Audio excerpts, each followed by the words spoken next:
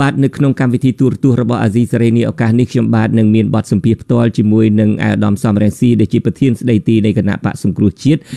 យើងនឹងបដោតទៅលើផែនការទាំងឡាយរបស់គណៈបកសង្គ្រោះជាតិក្នុងការព្យាយាមយ៉ាងណាដើម្បីធ្វើឲ្យគណៈបកសង្គ្រោះជាតិរស់ឡើងវិញក្នុងផែនការវិលត្រឡប់ទៅប្រទេសកម្ពុជាជាដើមហើយយើងបានទៅជែកគ្នាខ្លះហើយអំពីផែនការវិលត្រឡប់ចូលប្រទេសកម្ពុជាវិញរបស់លោកសំរងស៊ីលោកបានបញ្ជាក់ថាផែនការរបស់លោកនៅតែមានដដែលមិនកែប្រែទេក៏ប៉ុន្តែគ្រាន់តែផែនការលើកនេះខុសពីលើកមុនមិនប្រាប់ពេលវេលាជាក់លាក់នោះឡើយគឺរៀនសូត្របានតាមមាតុភូមិនិវត្តកាលពីឆ្នាំទៅមិញនេះ ហើយមុននឹងកែបចាប់ផ្ដើមកិច្ចសន្ទនារបស់យើងនៅក្នុងកម្មវិធីទូរទស្សន៍នេះដោយខ្ញុំបាទបានសន្យាពីខាងដើមខ្ញុំបាទនឹងសួរសំណួរទៅអាដាមសំរងស៊ីមុនសិនមុននឹងអនុញ្ញាតឲ្យលោកអ្នកស្ដាប់ពីកំពង់សោមគឺចំបៃព្រៃនប់ដាក់សំណួរសំណួររបស់ខ្ញុំបាទអាដាមអាដាមបានឆ្លើយយ៉ាងខ្លីហើយខ្ញុំបាទបានសួរថាក្នុងកលៈទេសៈដែលទីបំផុតទៅលោកនាយករដ្ឋមន្ត្រីហ៊ុនសែននៅតែផាត់គណៈបកសង្គ្រោះជាតិមិនឲ្យចូលរួមក្នុងជីវភាពនយោបាយក្នុងឆាកឈុតឆាកនយោបាយនៃប្រទេសកម្ពុជានឹងតើគណៈបកសង្គ្រោះជាតិនឹងមានជំរឿសណាផ្សេងទៀតទេអាដាមឆ្លើយយ៉ាងខ្លីថាប៉ះសិនបើលោកហ៊ុនសែនផាត់សង្គ្រោះជាតិប្រជាពលរដ្ឋខ្មែរនឹងផាត់លោកហ៊ុនសែនតើផាត់បែបណាតាមការធ្វើយ៉ាងណាដែលឲ្យផាត់លោកហ៊ុនសែនបានអាដាមសូមជើញឥឡូវនេះស្ថានភាពកំពុងតែប្រែប្រួលហើយទូទាំងពិភពលោកថ្ងៃនេះយើងដឹងលទ្ធផល ការបោះឆ្នោតជ្រើសរើសប្រជានាយកបដីនៅសហរដ្ឋអាមេរិកលោក Biden គណៈបកប្រជាធិបតេយ្យឈ្នះហើយដូច្នេះពួកប្រជាធិបតេយ្យនៅសហរដ្ឋអាមេរិកគេមានគម្រោងគេមានផែនការគេមានក្រុមការងារគេមានក្រុមយុទ្ធសាស្ត្រ មិនមែនដូចលោក Trump លោក Trump ហ្នឹងគាត់ជាបុគ្គលនិយមគ្រួសារនិយមគាត់គិតអីគាត់ធ្វើតែខ្លួនគាត់សួរកូនគាត់កូនប្រសាគាត់គ្នាគាត់មកក្រុមដូចថាជាជាបុគ្គលតែអ្នកប្រជាធិបតេយ្យគេមានចក្ខុវិស័យគេមានទស្សនៈវែងឆ្ងាយគេមានរបៀបធ្វើការម៉ត់ចត់ដែលមានប្រសិទ្ធភាព មិនមែនតែផ្លោតផ្លោតអឺឆៃឆាវដោយលោកលោកត្រឹមទេនឹងជាសញ្ញាល្អមួយ សម្រាប់នយោបាយការបរទេសរបស់សហរដ្ឋអាមេរិកទី2យើងឃើញនៅសមុទ្រដែនសមុទ្រចិនខាងត្បូងសភាពការកាន់តែតានតឹងរវាងកម្លាំងទ័ពអាមេរិកកម្លាំងទ័ពប្រទេសជិតខាងជុំវិញប្រទេសចិននិងនិងកងកម្លាំងទ័ពរបស់ចិន តែយើងឃើញថាចិនវាទីនិយមគឺប៉ះគេប៉ះឯងហើយហើយឥឡូវនេះហ៊ុនសែនគាត់ទៅចូលដៃជាមួយចិនគាត់តាមរូបភាពដែលយើងឃើញទាំងអស់គ្នាឃើញហ្នឹងគឺគាត់ឲ្យចិនហ្នឹងមានលទ្ធភាពមកសំចត់នាវាចម្បាំងកងទ័ពអីគេត្រៀមលក្ខណៈហើយទោះជាមិនទាន់មានរូបភាពជាយោធាប៉ុន្តែអារូបភាពស៊ីវិលគឺអាចកែច្នៃ คล้ายទៅជារូបភាពយោធាបានមួយរំពេចអញ្ចឹងច្បាស់ជាមានប្រតិកម្មអន្តរជាតិហើយដែលហ៊ុនសែនទៅលក់ខ្លួនឲ្យចិនហ៊ុនសែនធ្វើឲ្យប្រទេសកម្ពុជាคล้ายទៅជាឈ្នន់សម្រាប់ចិនកុម្មុយនីសទៅឈ្លានពានប្រទេសជិតខាងហ៊ុនសែនធ្វើនោះគឺខុសធំណា មិនមែនមានតែប្រជារាស្ត្រខ្មែរនៅក្រៅកាហាយចំពោះហ៊ុនសែនទេសហគមន៍អន្តរជាតិប្រទេសជិតខាងបហាអំណាចដែលគេប្រឆាំងរបបវាទីនិយមរបស់ចិនហ្នឹងក៏គេ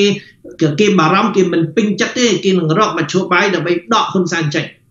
ព្រឹត្តិការណ៍មួយទៀតដែលកំពុងតែប្រែប្រួលគឺនៅប្រទេសថៃយើងឃើញហើយហ៊ុនសែនគាត់មនុស្សឱកាសនិយមបានក្បាលស៊ីក្បាលបានកតុយស៊ីកតុយគាត់ទៅអោបពួកយោធាថៃ គាត់ទៅពឹងពួកយោធាថៃកុំឲ្យសំរងស៊ីឆ្លងកាត់ប្រទេសថៃអញ្ចឹងហើយបានគាត់ដើម្បីសងគុណពួកយោធាថៃនោះគាត់ឲ្យគេមកចាប់អ្នកប្រជាធិបតេយ្យខ្មែរអើប្រជាធិបតេយ្យថៃនៅលើដែនដីប្រទេសកម្ពុជា បាត់ខ្លួនយកទៅសម្លាប់ក៏មិនដឹងដែរអញ្ចឹងគឺថាហ៊ុនសែនចូលដៃជាមួយពួកផ្ដាច់ការនៅប្រទេសថៃផ្ដាច់ការហើយផ្ដាច់ការគេចូលដៃជាមួយគ្នា តែកម្លាំងប្រជាធិបតេយ្យនៅប្រទេសថៃ កំពុងតែផុសផុលសម្បើមដោយកម្លាំងប្រជាធិបតេយ្យនៅប្រទេសកម្ពុជាអញ្ចឹងដែរមិនយូរមិនឆាប់កម្លាំងប្រជាធិបតេយ្យនៅប្រទេសថៃនិងកម្លាំងប្រជាធិបតេយ្យនៅប្រទេសកម្ពុជានឹងចាប់ដៃគ្នាដើម្បីកម្ចាត់ពួកជនផ្ដាច់ការចេញដើម្បីរៀបចំឲ្យប្រទេសយើងទាំងពីរបានស្គាល់នៅលទ្ធិប្រជាធិបតេយ្យពិតប្រាកដដូច្នេះកត្តាច្រើនដែលខ្ញុំរៀបរាប់មកបាញ់មិញ វានឹងជំរុញឲ្យមានការផ្លាស់ប្ដូរនៅប្រទេសកម្ពុជាពីព្រោះខ្យល់កំពុងតែបក់ព្យុះខ្លាំងណាស់ របស់ហ៊ុនសែននឹងគឺឈរមិនជាប់ទេទីទៀតនេះដូច្នេះដូច្នេះអាដាមបើតាមស្ដាប់អាដាមទៅមិនមែនកត្តាសំខាន់ថាតើលោកហ៊ុនសែនផាត់ចោលឬមិនផាត់ចោលទេគឺកត្តាសំខាន់នឹងគឺចេញពីសហរដ្ឋអាមេរិកឬមួយចេញពីបញ្ហានៅក្នុងតំបន់រលកប្រជាធិបតេយ្យនៅក្នុងតំបន់នឹងទៅវិញដែលធ្វើឲ្យប៉ះពាល់ដល់មានអត្តពលដល់រលកប្រជាធិបតេយ្យនៅកម្ពុជាហើយអាចធ្វើប៉ះពាល់ដល់ការគ្រប់គ្រងរបស់លោកហ៊ុនសែនបាទប៉ុន្តែ ឆន្ទៈប្រជារាស្ត្រខ្មែរជាជាកត្តាចម្បងបើរដ្ឋាភិបាលណារបបណាមានការគ្រប់គ្រងពេញទំហឹងពីប្រជារាស្ត្រដូចជាប្រជារាស្ត្រខ្មែរបើអ្នកដឹកនាំប្រទេសនីមួយៗដូចជាប្រទេសខ្មែរមានការគ្រប់គ្រងចាក់ឬចាក់គុលរឹងមាំជ្រៅទៅលើក្នុងដីលើទឹកដីយើងនឹងខ្យល់បក់យ៉ាងណាក៏អត់រលំដែរតែដោយសាររបបហ៊ុនសែនវាដាច់រឹស វាដាច់រឹសអស់មានប្រជារាស្ត្រខ្មែរគ្រប់គ្រងហើយគាត់គាត់មានការគ្រប់គ្រងតែពីបរទេសពីចិនពីអីហ្នឹងអញ្ចឹងហើយបានគាត់រំពឹងតែបរទេសទេគាត់អត់មានរំពឹងលើប្រទេសកម្ពុជាទេប៉ុន្តែបរទេសហ្នឹងកំពុងតែប្រែប្រួល អតុល្យភាពកម្លាំងនៅបរទេសនឹងកំពុងតែប្រែប្រួលសហរដ្ឋអាមេរិកដែនសមុទ្រខាងចិនខាងត្បូងប្រទេសថៃតំបន់អាស៊ីភាគអាគ្នេយ៍អតុល្យភាពកម្លាំងដែលតទល់គ្នានឹងកំពុងតែប្រែប្រួលអញ្ចឹងបើខ្យល់បក់បន្តិចឲ្យព្យុះតែបន្តិចទៅរបបហ៊ុនសែននឹងគឺมันអាចនៅឈរជើងជាប់ទេបាទបាទអរគុណ ខ្ញុំបាទសូមងាកមករឿងការបោះឆ្នោតនៅសហរដ្ឋអាមេរិកនេះអាដាមបានមានប្រសាសន៍ថាលោក Biden នឹងកំពុងបានជាប់ឆ្នោតហើយក៏ប៉ុន្តែមកទល់នឹងពេលនេះមិនទាន់មានសេចក្តីប្រកាសជាផ្លូវការនៅឡើយទេថាតើបេក្ខជនណាមួយជាអ្នកជាប់ឆ្នោតនៅខ្ញុំបាទគ្រាន់តែសូមបញ្ជាក់តែប៉ុណ្ណេះសិលឹកឆ្នោតនៅតែកំពុងរាប់នៅឡើយបាទឥឡូវងាកមកលោកអ្នកស្ដាប់វិញម្ដងយើងបានភ្ជាប់ទៅលោកអ្នកស្ដាប់ម្នាក់ពីកំពង់សោមដែលគាត់ដាក់ឈ្មោះខ្លួនឯងថាចំបៃព្រៃនប់បែរជាស្រីហើយក៏មិនដឹងចំបៃព្រៃនប់សូមជើញដាក់សំណួរឬមួយក៏មានមតិយោបល់បែបណាសូមជើញបាទហៅជំរាបសួរលោកគ្រូបាទជំរាបសួរបាទអឺខ្ញុំចង់សួរលោកពូសំរងពីគាត់ថាមេត្តាភូមិនៃវត្តលើកទី2ខ្ញុំចង់សួរទៅគាត់មករយៈពេលខ្លីចាប់បើអត់មានមេត្តាភូមិនៃវត្តពាក្យថាមេត្តាភូមិនៃវត្តលើកទី2ចាប់បើអត់មានលើកទី1ហងមានលើកទី2មកពីណាលោកពូ បាទសំណួរតែប៉ុណ្្នឹងទេបាទហើយខ្ញុំចង់សួរតើគាត់ទីទៀតថា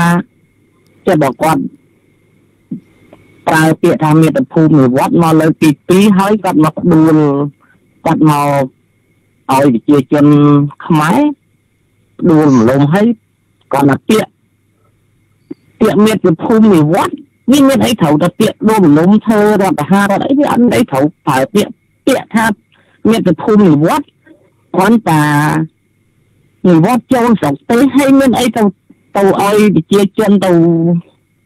បាបកម្មបាបអីអានោះប្រើប្រើពាក្យហិង្សាឯដល់ពេលអញ្ចឹងអត់ប្រើពាក្យអត់សមរុំសោះហ្មងដល់ពេលអញ្ចឹងខ្ញុំវាឆ្ងល់គាត់ដែរបាទ អរគុណចំបៃព្រៃនុបអាដាមបើអត់ទាន់មាននាទី1ផងហេតុអីថាមាននាទី2ហើយបើមានប្រភូមិនិវត្តមានន័យថាវិលត្រឡប់ចូលស្រុកសោះហេតុអីក៏ចាំបាច់ឲ្យមានការងើបឡើងអីជាដើមខ្ញុំសូមសួរសិស្សសានុសិស្សនិស្សិតបើយើងប្រឡងបើយើងប្រឡងលើកទី1អត់ជាប់អញ្ចឹងអត់ជាប់រហូតទេអត់មានប្រឡងលើកទី2ឬ3ទេណាណាប្រឡងធ្លាក់ម្ដងធ្លាក់រហូតទេ បើយើងមានផែនការអីមួយ យើងសម្រេចមិនទាន់បានបោះបង់ចោលអត់ព្យាយាមអត់មានះអត់ខិតខំទេអានឹងជាសត្វមនុស្សដែលអត់មានទឹកចិត្តមុះមុននឹងជាសត្វបើជាមនុស្សត្រូវមានទឹកចិត្តមុះមុតធ្វើអ្វីធ្វើតតែបានដល់ទីបញ្ចប់របស់វានឹងទី1ទី2មានទំភុំនិវត្តថាថ្នាក់ដឹកនាំគណៈបកសង្គ្រោះជាតិចង់វិលត្រឡប់ទៅប្រទេសកម្ពុជាវិញនេះចង់ទៅធ្វើអ្វី ចង់ទៅដោះស្រាយបញ្ហា ដោះស្រាយវិបត្តិនយោបាយដោះស្រាយវិបត្តិសេដ្ឋកិច្ចដោះស្រាយវិបត្តិបរិស្ថានរៀបចំប្រទេសឲ្យមានភាពសម្បូរសបាយប្រជាពលរដ្ឋកំពុងតែវេទនាកាន់តែក្រទៅក្រទៅលោកហ៊ុនសែនអត់ចេះដោះស្រាយទេយើងឃើញថាលោកហ៊ុនសែនជាមនុស្សអវិជ្ជាមនុស្សល្ងងខ្លៅដោយតែពលពតដោយតែខ្មែរក្រហមធ្វើឲ្យស្រុកវិនិច្ឆ័យហិនហោច អញ្ចឹងហើយបានយើងត្រូវតែដោះស្រាយមាតុភូមិនិវត្តគឺមាតុភូមិនិវត្តការវិលត្រឡប់ទៅប្រទេសកម្ពុជាវិញនៃអ្នកដែលស្រឡាញ់ជាតិពិតប្រាកដដែលមានគំនិតជឿនលឿនដែលមានចំណេះដឹងដែលមានសមត្ថភាពដែលមានបទពិសោធន៍ដើម្បីទៅស្ដារប្រទេសយើងបើមានសត្វខ្លះចង់រស់នៅក្នុងឋានៈជាសត្វមួយជីវិតអានឹងរឿងគេ តែបើយើងជាមនុស្សយើងជាកូនខ្មែរយើងត្រូវតែរួមកម្លាំងគ្នាដើម្បីស្ដារប្រទេសកម្ពុជាឡើងវិញហើយលោកហ៊ុនសែនគាត់ដឹកនាំប្រទេស35ឆ្នាំជិត40ឆ្នាំហើយប្រទេសកាន់តែលិចលង់លិចលង់បាត់បង់ទឹកដីបាត់បង់ព្រៃឈើប្រជារាស្ត្រក្រវេទនាបាត់បង់ដីធ្លីបាត់បង់ការងារបាត់បង់ប្រាក់ចំណូលឃើញស្រុកយើងកាន់តែហិនហោចទេអញ្ចឹងហើយបានមាតុភូមិនិវត្តនេះបំណងគឺទៅស្ដារ ប្រទេសកម្ពុជាឡើងវិញ បាទអរគុណអាដាមអរគុណអាដាមបានបកស្រាយឲ្យសង្ឃឹមថាចំបៃព្រៃនុបបានយល់អំពីការធ្វើវិរភ័មនិវត្តទី1ឬទី2នេះជាដើមអាដាមបានលើកឧទាហរណ៍ច្បាស់លាស់ណាស់អំពីរឿងថាបើប្រឡងលើកទី1មិនជាប់ហើយយើងបោះបង់អត់អត់ទៅលើកទី2អានឹងវាមិនជាមានន័យថាបាត់បង់ការតស៊ូអីជាដើមឥឡូវនេះខ្ញុំចង់ងាកមកសម្ព័ន្ធភាពរវាងលោកសំរៀងស៊ីនិងលោកកឹមសុខាវិញម្ដងដូចខ្ញុំបាទបានតាំងសំណួរតាំងពីនៅចុងកម្មវិធីវិទ្យុអំបញ្ញមិញមែនថានៅពេលនេះនឹងលោកកឹមសុខានឹងចាប់ផ្ដើមចេញទៅខេត្តខណ្ឌអីនានាជួបអ្នកគ្រប់គ្រងឬមួយក៏ចែកអំណោយអីជាដើមហើយពេលឃើញថ្មីថ្មីនេះនៅលើបណ្ដាញសង្គម Facebook នឹងឃើញលោកចេញទៅនឹងជួបជាមួយនឹងមន្ត្រីជាន់ខ្ពស់នៃគណៈបកប្រជាធិបតេយ្យមូលដ្ឋាន GDP អីជាដើមនឹងអាដាមនេះអាចជាសេនារីយោនយោបាយថ្មីមួយទៀតទេមានការចូលរួមជាមួយនឹងគណៈបកដតីអីទៀតដែរទេតើអាដាមអាចនឹងទទួលយកបានទេបើសិនជាលោកកឹមសុខានឹងទីបំផុតទៅទៅចាប់ដៃជាមួយនឹងគណៈបកណាមួយទៀតនៅប្រទេសកម្ពុជានឹងហើយស្រាប់តែចេញទៅជាសេណារីយ៉ូបាយសេណាសេណារីយ៉ូនយោបាយឯថ្មីណាមួយទៀតនៅឯប្រទេសកម្ពុជានឹងលោកអាចនឹងមានលោកកឹមសុខាអាចនឹងដើរផ្លូវនឹងទេឬមួយលោកនៅតែទុកចិត្តលោកកឹមសុខាដដែលឬមួយក៏អ្វីដែលលោកកឹមសុខាធ្វើលោកនឹងធ្វើតាមក្រោយលោកនឹងព្រមព្រៀងតាមជានិច្ចអ្វីដែលលោកកឹមសុខាបានធ្វើថ្មីថ្មីនេះ គាត់ទៅចាក់ដៃខ្មែរដូចគ្នាដើរជាមួយគ្នាទៅជួយប្រជារាស្ត្រដែលរងគ្រោះដោយទឹកជំនន់អត់មានអីខុសទេបើខ្ញុំនៅលើទឹកដីប្រទេសកម្ពុជាខ្ញុំធ្វើដូចលោកកឹមសុខាអញ្ចឹងអ្វីដែលសំខាន់គឺជំរឿចិត្តរបស់យើងថាយើងស្មោះត្រង់យើងអត់ចាញ់ការសម្លុតរបស់ហ៊ុនសែនយើងអត់ចង់ការប៉ុនប៉ងទិញទឹកចិត្តរបស់យើងពីសំណាក់ហ៊ុនសែនហ៊ុនសែនសម្លុតយើងឲ្យធ្វើអី ហ៊ុនសែនចង់ទិញយើងឲ្យធ្វើអីឲ្យទៅចោះចូលគាត់ឲ្យលះបង់គណៈបកសង្គ្រោះជាតិតើលោកកឹមសុខាមានមានដៃថាគាត់លះបង់គណៈបកសង្គ្រោះជាតិឯណាហ៊ុនសែនចង់ឲ្យលោកកឹមសុខាទៅដឹកនាំគណៈបកណាថ្មីណាមួយឬបង្កើតគណៈបកណាមួយឬមួយប៉ុនប៉ងយកគណៈបកសង្គ្រោះជាតិតែម្នាក់គាត់ផាត់សំរាំងស៊ីចោលលោកកឹមសុខាមានដែនមានបំណងអញ្ចឹងណាអញ្ចឹងឯណាមិនដែលតទៅសោះ អញ្ចឹងហើយសូមកុំមើលអារូបភាពសើសើពីលើត្រូវប៉ុនប៉ងយល់ពីទឹកចិត្តរបស់បុគ្គលម្នាក់ម្នាក់បាទអញ្ចឹងមានន័យថាអាដាមហើយនឹងលោកកឹមសុខានឹងគ្មានពេលណាមួយដែលអាចបែកបាក់គ្នាបានទេមកដល់ពេលនេះលោកនៅតែមើលឃើញបែបហ្នឹងដដែលចំពោះខ្ញុំដែលខ្ញុំមានសិទ្ធិសេរីភាពខ្ញុំអាចនិយាយអញ្ចឹងយ៉ាងច្បាស់ត្រឡែកតែលោកកឹមសុខាគាត់អត់មានសិទ្ធិសេរីភាពនិយាយទេប៉ុន្តែជួនកាលអ្វីដែលយើងមិននិយាយ មានន័យដូចអ្វីដែលយើងនិយាយអញ្ចឹងលោកហ៊ុនលោកកឹមសុខាមានដែលនិយាយថាគាត់តាមលោកហ៊ុនសែនមានដែលទៅសុំច្បាប់លោកហ៊ុនសែនធ្វើនយោបាយមានដែលថាបោះបង់គណៈបកសង្គ្រោះជាតិចោលហើយភ្លេចគណៈបកសង្គ្រោះជាតិចោលហើយមានដែលនិយាយចឹងណាគាត់មិនអាចនិយាយថាគាត់នៅជាមួយសំរាស៊ីដាច់ខាតគាត់នៅការពារគណៈបកសង្គ្រោះជាតិដាច់ខាតគាត់មិនអត់មានសេរីភាពនិយាយចឹងប៉ុន្តែអ្វីដែលគាត់មិននិយាយដូចអ្វីដែលហ៊ុនសែនចង់ឲ្យគាត់និយាយ មានន័យស៊ីជម្រៅបាទបាទអរគុណអាដាមឥឡូវនេះខ្ញុំផ្ដល់ឱកាសជូនលោកអ្នកស្ដាប់ម្នាក់ដែលក្រុមការងារយើងភ្ជាប់បានពីខេត្តកំពង់ចាមគឺលោកមុំផលលោកមុំផលសូមជើញដាក់សំណួរឬមួយបញ្ចេញទស្សនៈយោបល់បាទបាទសូមជម្រាបសួរលោកប្រធានទីចម្ងាយនៅក្រែងនៅក្រែងលោកផងបាទហើយសូមជម្រាបសួរលោកជាចន្ទរបាទជម្រាបសួរបាទខ្ញុំមានសំណួរទៅកាន់លោកប្រធានហើយដូចជាមានការខ្វល់ខ្វាយសូមសូមសូមមានប្រសាសន៍លឺជាងនឹងតិចបាទខ្ញុំមិនស្គាល់បាទ ខ្ញុំជាផលសំណាងដែរបានជួបលោកជាថ្ងៃនេះខ្ញុំជំនឿរបស់ខ្ញុំសួរថាតែមកដល់ពេលនេះម៉ោងនេះនឹងទៅខាងមុខតែលោកប្រធានមានដំណោះស្រាយយ៉ាងណាដើម្បីរកដំណោះស្រាយរវាងខ្មែរនិងខ្មែរកុំឲ្យបែកបាក់គ្នាឲ្យខ្មែរមានឯកភាពគ្នាជាធ្លុំមួយនេះសំណួរទី1សំណួរទី2រាជការនេះជារាជការសំរងស៊ីនិងលោកកឹមសុខា ចុះបើស្ថានភាពចេះអូសបន្លាយឲ្យជាទីមកខាងស៊ីពីរលាប្រជាពលរដ្ឋរងចាំចង់អធិសាឆ្នាំ2020ចិត្តចូលដល់2021ហើយការបោះឆ្នោតគុំសង្កាត់2022ចិត្តចូលមកដល់ជាក្តីសង្ឃឹមរបស់ប្រជាពលរដ្ឋតើលោកប្រធានមានដំណោះស្រាយយ៉ាងណាចំពោះការបោះឆ្នោតនៅពេលខាងមុខពីព្រោះប្រជាពលរដ្ឋមានការខ្វល់ខ្វាយចំពោះរឿងនេះ មានតែបាក់មកខាងទីនៃដៃក៏អត់មានការបោះឆ្នោត2022គុំសង្កាត់ទេតើលោកប្រធានអាចឲ្យទៅក្នុងស្អីណាប្រជាពលរដ្ឋ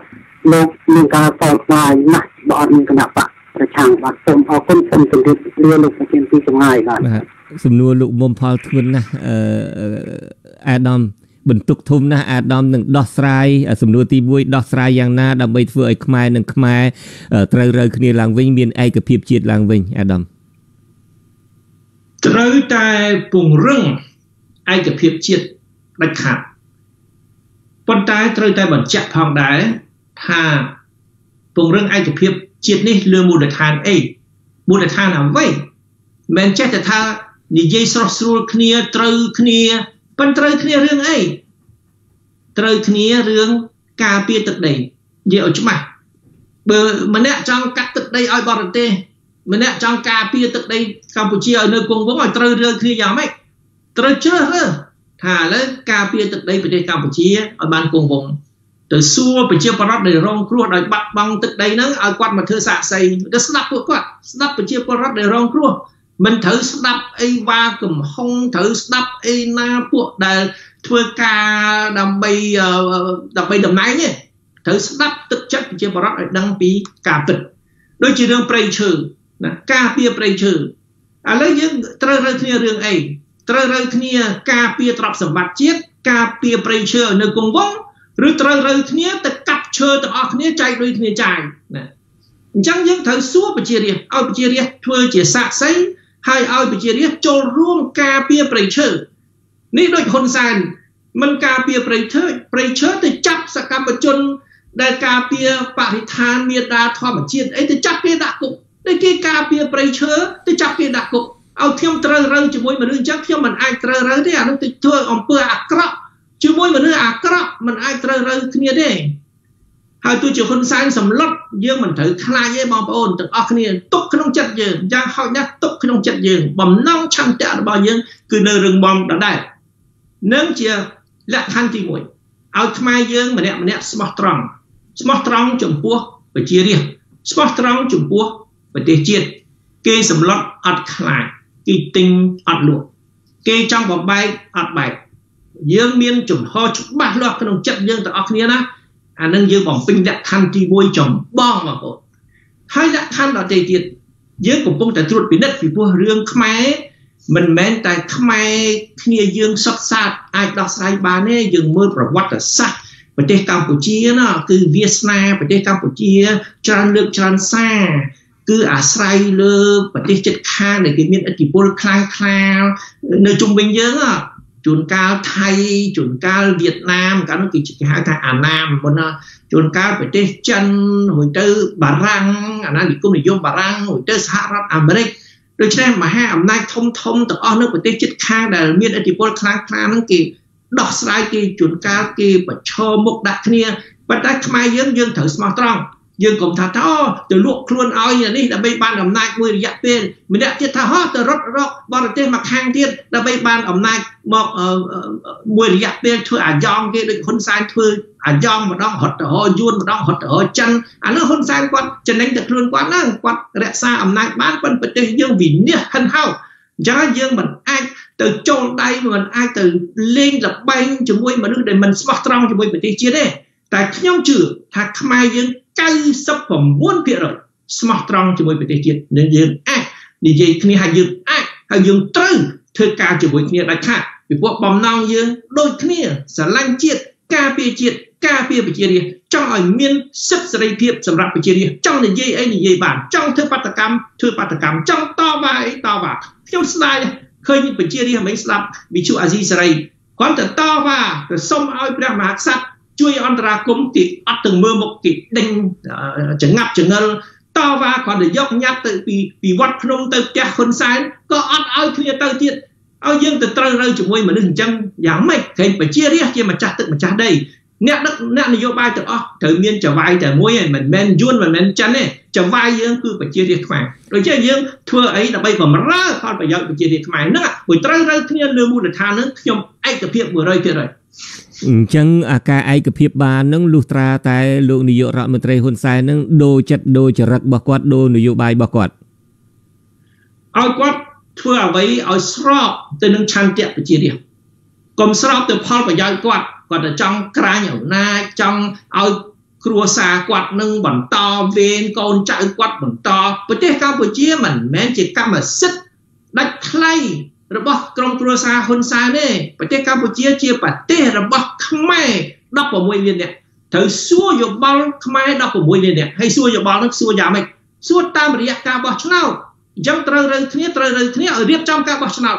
រៀបចំការបោះឆ្នោត ត្រឹមត្រូវមានសហគមន៍អន្តរជាតិចូលមកជួយរៀបចំឲ្យមានភាពសុក្រិតឲ្យគណៈបកណាក៏ដោយចង់ឈរឈ្មោះឲ្យទីបោះឆ្នោតឲ្យឲ្យប្រជារាស្ត្របោះឆ្នោតឲ្យត្រូវមានសេរីភាពមានសិទ្ធិឈរឈ្មោះដូចគ្នាស្មើគ្នាទាំងអស់គ្នាត្រូវរើគ្នាត្រូវរើគ្នាបែបហ្នឹងនឹងខ្ញុំឯកភាពប៉ុន្តែត្រូវរើផាត់ចោលផាត់គណៈបកសង្គ្រោះជាតិចោលអានឹងមិនទេប្រជារាស្ត្រយ៉ាងតិចកន្លះនគរ បោះឆ្នោតឲ្យគណៈបកសង្គ្រោះជាតិអញ្ចឹងបើផាត់គណៈបកសង្គ្រោះជាតិចោលមានន័យថាផាត់ប្រជាពលរដ្ឋកន្លះនគរចោលខ្មែរណាតែមានសិទ្ធិអ្នកណាតែមានសិទ្ធិផាត់ប្រជារាស្ត្រកន្លះនគរចោលហ្នឹងហើយឲ្យត្រូវរើគ្នាឲ្យឲ្យហ៊ុនសែនធ្វើអ្វីបានតាមចិត្តឲ្យហ៊ុនសែនជិះសេះលែងដៃឲ្យផ្ទេរអំណាចពីគាត់ទៅឲ្យកូនគាត់ដូចជាប្រទេសកម្ពុជាជាកម្មសិទ្ធិរបស់គ្រួសារហ៊ុន มันអាចទៅរួចទេត្រូវរើគ្នាបែបហ្នឹងអត់ដាច់ខាតបាទសំណួរទី2របស់លោកមុំផលដែរតកតងទៅនឹងការបោះឆ្នោតលោកព្រួយបារម្ភថាការបោះឆ្នោតនឹងជិតមកដល់ហើយការបោះឆ្នោតក្រុមប្រឹក្សាគុំសង្កាត់នៅសល់ជាង1ឆ្នាំទៀតទេមកដុំពាក់កណ្ដាលខែពាក់កណ្ដាលឆ្នាំ2022អឺលោកថាតើដោះស្រាយបែបណាទៅមានអ្វីដែលអាចជាដំណោះស្រាយទៅដើម្បីឲ្យគណៈបកសង្គ្រោះជាតិនឹងចូលរួមក្នុងការបោះឆ្នោតអីវិញជាដើមអាដាម ជាចម្ងល់របស់គាត់ដូចខ្ញុំនិយាយមិញយើងត្រូវរក្សាចំហយើងអត់មានប្រែប្រួលទេនៅតែស្មោះត្រង់ជាមួយប្រទេសជាតិឲ្យតែយើងរក្សាចំហឲ្យរឹងមាំណាស្អីក៏អាចធ្វើទៅកើតដែរពីព្រោះឥឡូវនេះស្ថានភាពដូចខ្ញុំនិយាយពីដើមទីកំពុងតែប្រែប្រួលហ៊ុនសែនមិនមែនអមតៈទេរបបហ៊ុនសែនមិនអាចនៅគង់វង្សអញ្ចឹងទេឥឡូវខ្យល់ព្យុះបោកបោកមកសម្បើមក ព្រឹត្តិការណ៍កំពុងតែដើរលឿនណាស់ខ្ញុំរៀបរាប់ពីសហរដ្ឋអាមេរិកខ្ញុំរៀបរាប់ពីប្រទេសជិតខាងពីប្រទេសថៃហើយជំងឺ Covid វិបត្តិសេដ្ឋកិច្ចនេះឃើញថាប្រទេសកម្ពុជាឥឡូវធ្លាក់ចូលក្នុងរណ្ដៅមួយកាន់តែជ្រៅទៅជ្រៅទៅអញ្ចឹងហើយយើងត្រូវតែរើបំរាស់ប្រជារាស្ត្រខ្មែរត្រូវតែរើបំរាស់ហើយមានឱកាសឱកាសដែលនឹងផ្ដល់មកពីអន្តរជាតិណាស្ថានភាពក្នុងតំបន់យើងច្បាស់ជាមានការប្រែប្រួលហើយហើយពួកយើងដែលមានសេរីភាពធ្វើការយើងមិននៅស្ងៀមទេយើងមានតំណែងជាមួយអន្តរជាតិយើងថ្លឹងថ្លែងយើងរកកម្លាំងយ៉ាងដូចម្ដេចដើម្បីមកធ្វើម៉េចប្រគល់អំណាចជូនប្រជារាស្ត្រខ្មែរនេះឥឡូវហ៊ុនសែនគាត់ចង់ក្តាប់ក្តាច់ក្តាប់ក្តាប់ក្តោបអំណាចក្នុងក្តាប់ដៃគាត់ហើយនឹងក្រុមគ្រួសារគាត់យើងអត់ធ្វើអញ្ចឹងទេយើងត្រូវធ្វើម៉េចរកមជ្ឈបាយប្រគល់អំណាចជូនប្រជារាស្ត្រខ្មែរវិញនឹងហើយបំណងរបស់យើងមាតុភូមិនិវត្តរបស់យើង គឺប្រគល់អំណាចជូនប្រជារាស្ត្រខ្មែរវិញហើយយើងត្រូវតែដូចយើងបើកបរនីតិអញ្ចឹងយើងត្រូវមើលខ្យល់យើងត្រូវមើលផ្កាយយើងត្រូវមើលចរន្តទឹកអីគ្រប់សពដែលយើងកំពុងតែធ្វើនោះគឺធ្វើបែបហ្នឹងហើយខ្ញុំជឿថាឥឡូវនេះស្ថានភាពអំណោយផលអាការប្រែប្រួលដែលមានដែលកំពុងតែមានជុំវិញយើងនេះគឺអំណោយផលសម្រាប់ជំរុញឲ្យមានការផ្លាស់ប្ដូរនៅប្រទេសកម្ពុជាជំរុញឲ្យយើងអាចផ្ដល់ប្រគល់អំណាចជូនប្រជារាស្ត្រខ្មែរវិញ បាទអាដាមនៅសល់3នាទីទៀតសំណួរចុងក្រោយរបស់ខ្ញុំអាដាមវិលទៅការការធ្វើមាតុភូមិនិវត្តជាលើកទី2នេះវិញឥឡូវនេះដល់ខែវិច្ឆិកាហើយនៅសល់ជាងមួយខែទៀតទេដាច់ឆ្នាំ2020នេះតើអាដាមអាចនឹងធ្វើត្បិតមិនមានពេលវេលាជាក់លាក់ក៏ដោយចុះតើអាចនឹងមានផែនការនឹងមុនឆ្នាំ2020នឹងទេឬមួយក៏ដល់ពេលវេលាណាផែនការនឹងអាច คล้ายទៅជារូបរាងពិតប្រាកដអាចคล้ายទៅជាការពិតគ្រប់ពេលវេលាព្រឹត្តិការណ៍ដែលខ្ញុំបានរៀបរាប់ដែលខ្ញុំបានបង្ហើបខ្លះហ្នឹងវាអាចកើតកើតចេញជារូបរាងគ្រប់ពេលវេលាអាចសប្តាហ៍ក្រោយអាចខែក្រោយអាចចុងឆ្នាំនេះអាចដើមឆ្នាំក្រោយតែអាចកើតហើយនឹងកើតជាជាក់ស្ដែងជាមិនខាន ដូច្នេះលើកនេះនឹងគឺប្រកាសជាមិនឲ្យដឹងពេលវេលាជាក់លាក់ដូចលើកមុនឡើយលើកនេះពីព្រោះយើងដឹងថាកម្លាំងប្រជាប្រដ្ឋព័ត៌មានដែលខ្ញុំបានទទួលពីគ្រប់ទិសទីគ្រប់ពេលវេលាកម្លាំងប្រជាប្រដ្ឋគឺកាន់តែផ្ដាច់ណាស់មានកងកម្លាំងប្រដាប់អាវុធបានផ្ដល់ព័ត៌មានឲ្យខ្ញុំឲ្យគណៈបកសង្គ្រោះជាតិថាគេរងចាំ រងចាំតែវត្តមានសំរងស៊ីតថ្នាក់ដឹកនាំគណៈបកសង្គ្រោះជាតិទៅដល់ពេលណាគឺគេងើបហើយផ្ទុះហើយអញ្ចឹងបានហ៊ុនសែនភ័យដែលយើងឆ្ងល់អ្នកខ្លះឆ្ងល់ថារឿងអីហ៊ុនសែនមិនឲ្យសំរងស៊ីទៅមកពីហ៊ុនសែនភ័យបិទច្រកគ្រប់កន្លែងគឺសំបីតែឈ្មោះសំរងស៊ីក៏ភ័យដែរសំឡេងសំរងស៊ីដែលបងប្អូនកំពុងតែស្ដាប់ខ្ញុំនោះហ៊ុនសែនកំពុងតែភ័យហើយស្រមោលសំរងស៊ីក៏ហ៊ុនសែនខ្លាចជាទីបំផុតអញ្ចឹងហើយគាត់ដឹង ថាពេលណាសំរងស៊ីទៅដល់ប្រជាបរតងើបហើយកងកម្លាំងប្រដាប់អាវុធបែកចុងកណ្ដុងហើយអញ្ចឹងមកគាត់ខ្លាចណាស់តែអញ្ចឹងហើយមកខ្ញុំបដិញ្ញាចិត្តថាទៅឲ្យតទៅបានដើម្បីឲ្យប្រជាបរតងើបដើម្បីឲ្យកងកម្លាំងប្រដាប់អាវុធបែកចុងកណ្ដុងប្រគល់អំណាចសងប្រជារាស្ត្រខ្មែរវិញអញ្ចឹងអាដាមបានសញ្ញាពីផ្ទៃក្នុងមកអាដាមមានប្រសាសន៍ថាពីខាងក្នុងមកបានប្រាប់អាដាមអញ្ចឹងហើយតែទៅទាំងគេចូលរួមសហការជាមួយអាដាម ខ្ញុំគាត់ទៅជូនឧទាហរណ៍មួយឯងហ៊ុនសែនមិនមានគម្រោងថាតម្លាក់សាក់ពីផ្កាយ4មកផ្កាយ3ពីផ្កាយ3មកផ្កាយ2ស្រាប់តែឥឡូវឈប់ផ្អាកអាគម្រោងដែលហ៊ុនសែនបានប្រកាសក្តែងក្តែងឥឡូវហ៊ុនសែនផ្អាកដោយសារអីដោយសារមេតបធំធំគេអត់សប្បាយចិត្តគេថាចង់តម្លាក់សាក់គេដើម្បីលើកកូនខ្លួនអញ្ចឹងគេចាំតែឱកាសតែសំរងស៊ីមកដល់ចាប់ដៃជាមួយប្រជាប្រដ្ឋ គឺប្រគល់អំណាចសងជូនប្រជារាស្ត្រខ្មែរវិញមានរៀបចំការបោះឆ្នោតឡើងវិញគណៈបកសំរងគណៈបកសង្គ្រោះជាតិដំណើរការឡើងវិញនិងប្រជាប្រដ្ឋប្រជារាស្ត្រខ្មែរជាអ្នកសម្រេចហ៊ុនសែនភ័យណាស់បើប្រជារាស្ត្រខ្មែរជាអ្នកសម្រេចគឺប្រជារាស្ត្រខ្មែរច្បាស់ជាមិនទុកហ៊ុនសែនទេបាទ អាដាមអញ្ចឹងអាចកើតឡើងពេលណាទាំងអស់អាដាមមិនបញ្ជាក់ពេលវេលាទេអាដាមមានប្រសាសន៍ថាអាចកើតឡើងសប្តាហ៍ក្រោយខែក្រោយមុនឆ្នាំ2020ឬមួយដើមឆ្នាំ2021ហើយខ្ញុំសូមអញ្ជើញវិជុអាស៊ីសេរីលោកជុនច័ន្ទបុតយើងធ្វើដំណើរទៅជាមួយគ្នាទៅមាតុភូមិនិវត្តប្រទេសកំណើតរបស់យើងទាំងអស់គ្នាជាសិទ្ធិរបស់យើងហើយជាកាតព្វកិច្ចរបស់យើងគ្មាននរណាអាចរារាំងមិនឲ្យយើងត្រឡប់ទៅទឹកដីកំណើតរបស់យើងប្រទេសកំណើតរបស់យើង ដើម្បីទៅស្រោចស្រង់ទៅស្ដារប្រទេសកំណើតរបស់យើងសូមឲ្យបងប្អូនជនរួមជាតិដែលនៅក្រៅប្រទេសត្រៀមខ្លួនវិលត្រឡប់ទៅស្រុកកំណើតរបស់យើងទាំងអស់គ្នាវិញហើយបងប្អូនជនរួមជាតិដែលនៅលើទឹកដីប្រទេសកម្ពុជាសប្តាហ៍ថ្ងៃត្រៀមខ្លួនដើម្បីចាប់ដៃខ្មែរនិងខ្មែរអ្នកស្នេហាជាតិដូចគ្នាអ្នកស្រឡាញ់សេរីភាពនិងយុត្តិធម៌ដូចគ្នាអ្នកប្រជាធិបតេយ្យដូចគ្នានឹងមានឱកាសចាប់ដៃគ្នាជ្រងឡើងជ្រើងដៃយើងឡើងទៅខាងលើជ័យយោកម្ពុជាអមតៈបាទ អរគុណអាដាមសំរងស៊ីដែលបានផ្ដល់កិច្ចសម្ភារហើយជាពិសេសយើងបញ្ចប់ត្រឹមថាអាចនឹងមានសង្ឃឹមវិលត្រឡប់ទៅប្រទេសកម្ពុជាវិញអាចសង្ឃឹមនឹងធ្វើឲ្យមានប្រជាធិបតេយ្យឡើងវិញនៅកម្ពុជាហើយអាស៊ីសេរីប្រកាសណាស់នឹងតាមដានយកព័ត៌មានគ្រប់ពេលវេលាអាដាមដូច្នេះខ្ញុំបាទអរគុណអាដាមជាថ្មីម្ដងទៀតនិងអរគុណលោកអ្នកនាងកញ្ញាទាំងអស់ដែលតាមដានការស្ដាប់តាមដានស្ដាប់ការផ្សាយរបស់យើងក្នុងរាត្រីនេះបាទខ្ញុំបាទសូមអរគុណអាដាមនិងសូមជម្រាបលាអាដាមនិងជម្រាបលាលោកអ្នកស្ដាប់ទាំងអស់